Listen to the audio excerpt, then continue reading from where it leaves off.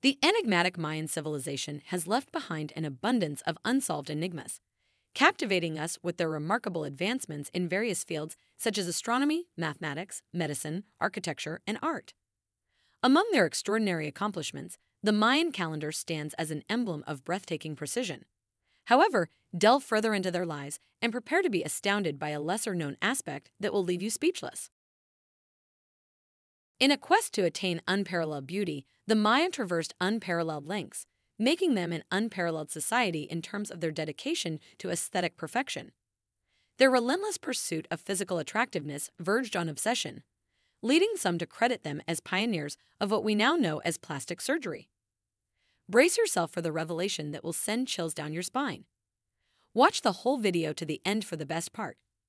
Throughout the Mayan civilization, mothers possessed a remarkable skill of crafting their offspring into exquisite beauties and strikingly handsome individuals. However, the methods employed often appeared more akin to instruments of torment than nurturing. Corn, the primary crop in Central America, held divine significance in the eyes of the Maya. Its value was so profound that even the standards of beauty were characterized by an elongated head, resembling the shape of a corn cob. The Spanish chronicler, Diego de Landa, vividly detailed the extraordinary procedure employed by the Maya to achieve this peculiar cranial form. Envision a tender infant cradled within a structure delicately woven from twigs. With precision, two boards were skillfully placed upon their delicate head, exerting intense pressure as they were painfully manipulated downwards. After several agonizing days, the infant's skull would be transformed, leaving it flat and conforming to the desired shape shared by their community. Remarkably, the Maya attributed this peculiar practice to the teachings of their divine ancestors, believing that the resulting cranial deformation bestowed upon them an air of nobility, elevating their appearance in the eyes of the gods. Interestingly, ethnographers propose that these cranial modifications may have served a practical purpose as well. They speculate that altering the shape of the skull made it more convenient to attach straps for carrying bundles on the forehead. Given the absence of beasts of burden in Mayan culture, individuals bore the weight of their cargo by securing it to their heads. Thus, the cranial modifications, while motivated by beauty standards, may have inadvertently provided a practical advantage in the daily logistics of the Maya civilization. The distinctive shape of Mayan heads gave birth to equally extraordinary headdresses. While not every commoner could afford lavish adornments, the aristocrats reveled in displaying their opulence to one another. Among rulers and high priests, these headdresses reached such remarkable proportions that they often surpassed their owners in height. Rather than being worn atop the head, these massive headdresses were attached to belts and shoulders. These magnificent creations, adorned with feathers, precious gemstones, ribbons resembling corn cobs, masks depicting jaguars, and even mythical creatures, showcased an awe inspiring splendor. However, it is no surprise that maneuvering in such elaborate headdresses proved to be challenging. The assortment of forms, materials, and compositions seemed limitless, encompassing turbans, tiaras, plumes, crowns, and wide brimmed hats. What makes it even more intriguing is that despite donning such extravagant headdresses, the Maya would often walk clad only in a small loincloth, choosing to embrace their nakedness while allowing their elaborate headpieces to captivate all who beheld them. Another important sign of beauty was a large eagle nose. Here, too, the Maya used plastic surgery. They wore special squeeze frames, which over time changed the shape of the nose, and brought the shape of the nose to perfection with the help of clay, sticking missing volumes. Another peculiar beauty standard, now being actively discarded, was strabismus. Strabismus was considered a distinctive trait of aristocratic appearance. Based on the detailed accounts of Mayan life left by the Spanish monk Diego de Landa, girls would deliberately induce strabismus by attaching a pebble to their hair, positioned just above the midpoint of their eyebrows. As the pebble swung back and forth, children would constantly raise their eyes, eventually causing them to develop a squint. However, as these squint eyed beauties matured, there was no shortage of suitors vying for their affections, ensuring a guaranteed marriage. This tradition had roots in antiquity. The squinting effect aimed to resemble the deity Itzamna, the creator of the world, who was depicted with a slanted gaze, a prominent nose, and a single tooth in his mouth. The Maya believed that Itzamna bestowed knowledge of how to cultivate the land and imparted invaluable craftsmanship to humanity. Among the Maya, natural beauty held little value, as it was the vibrant and unconventional that garnered admiration. the more striking and rugged, the better. Rather than relying on cosmetics, they embraced body tattoos, a practice accompanied by excruciating pain. The process involved first painting the skin and then making incisions, posing a significant risk of infection and even death. These incisions left behind intricate geometric patterns as permanent scars. The extent of these tattoos served as a testament to a man's bravery and valor, with those adorned with numerous tattoos considered highly courageous. Women, too, partook in this custom, adorning their bodies with tattoos, excluding the breasts. Even the supreme rulers of the Maya covered themselves in tattoos, nearly from head to toe. However, their pursuit of beauty did not end there.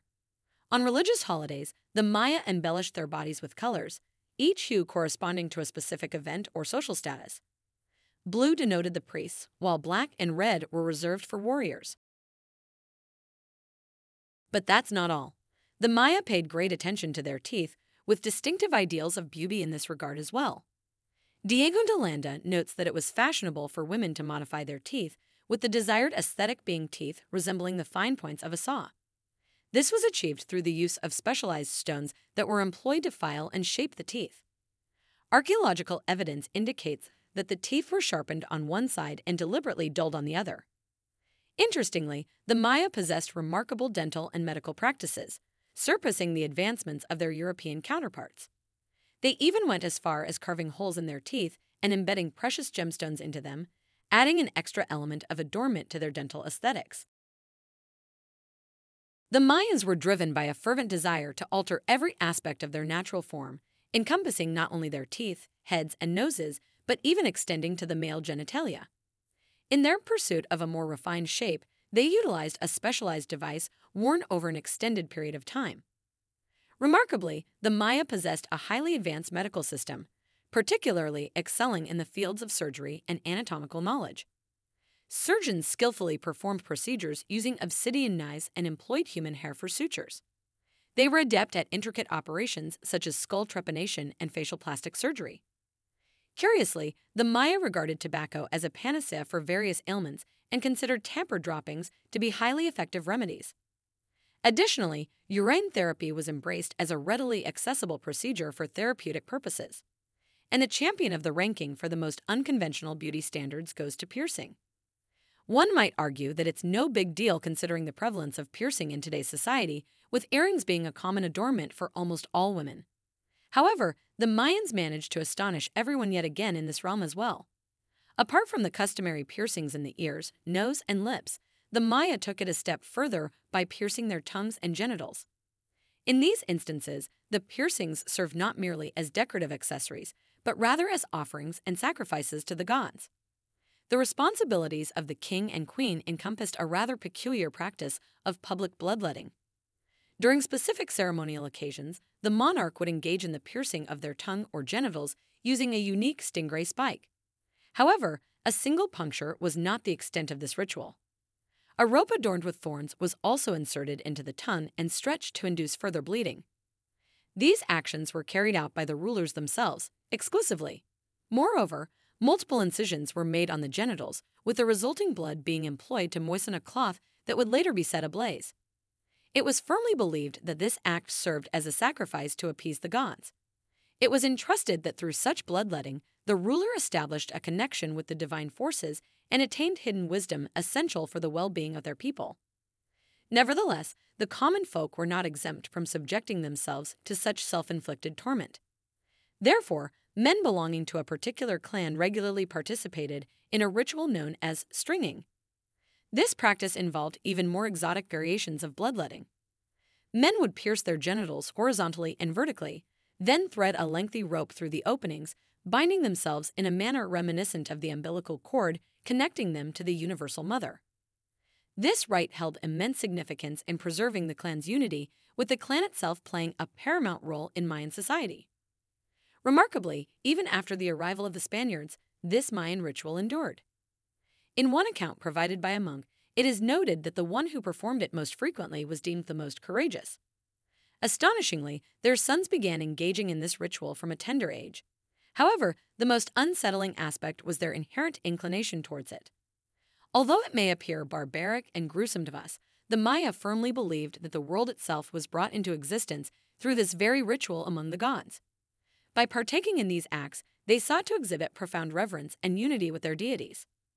Such were the mesmerizing and unconventional mores and customs observed by the Maya. Despite the undeniable cruelty within their culture, including the practice of human sacrifice, the Maya achieved a remarkable level of civilization, often surpassing the developments of their European counterparts in numerous facets of their society. If you liked the video, subscribe to the channel and stay in touch.